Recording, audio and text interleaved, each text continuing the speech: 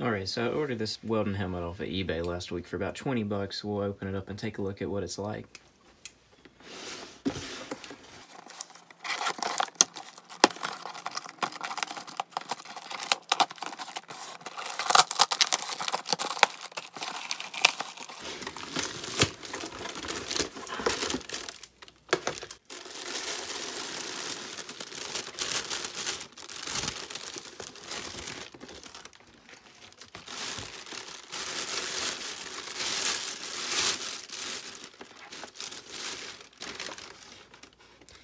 We've got the adjustable headband.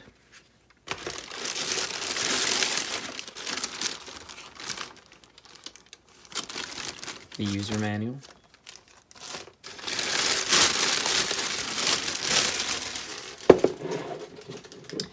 And then the helmet itself.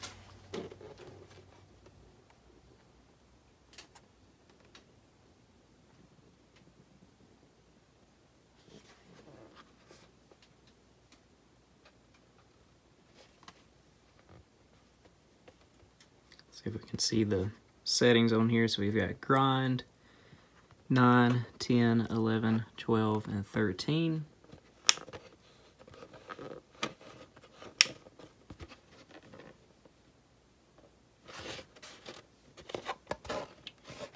So we have inside, we have the delay, and then we have the sensitivity.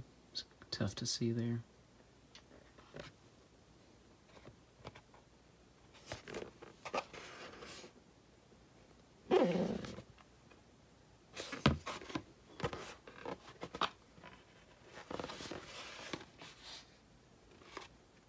So I did want to show a couple of features with this welding helmet now that I've had a minute to play with it.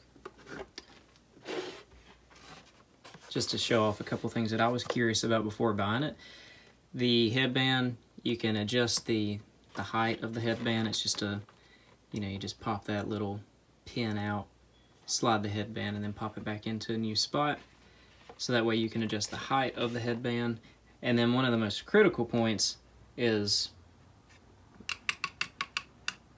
having that. You hear the clicks there.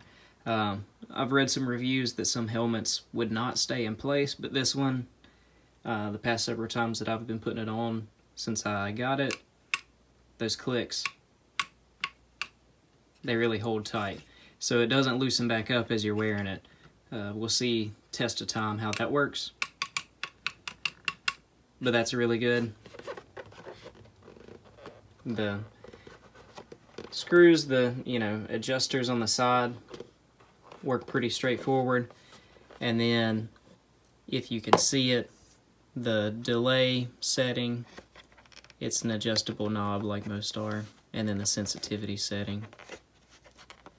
So I can try to show something here real quick, uh, just here from the, the desk inside.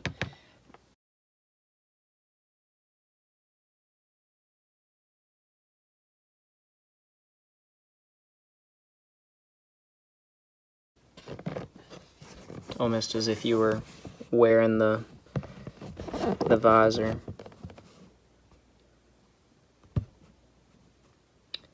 So, you can see my hand out front there.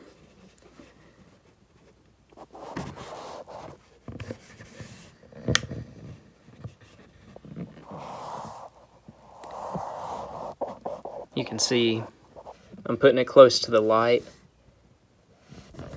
and it turns off and then turns back on so.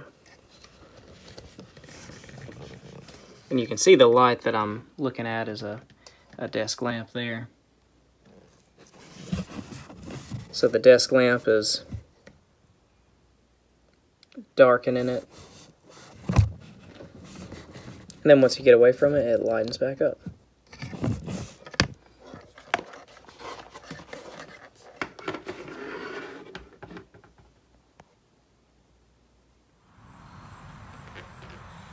Alright, so this welding mask, you can adjust it and it'll stay raised. Goes down really easily. It's really good. The band on the back will tighten and loosen, hold its tightness. Seems to be pretty, pretty stable. We'll give it a test run and uh, see how it works with actual welds.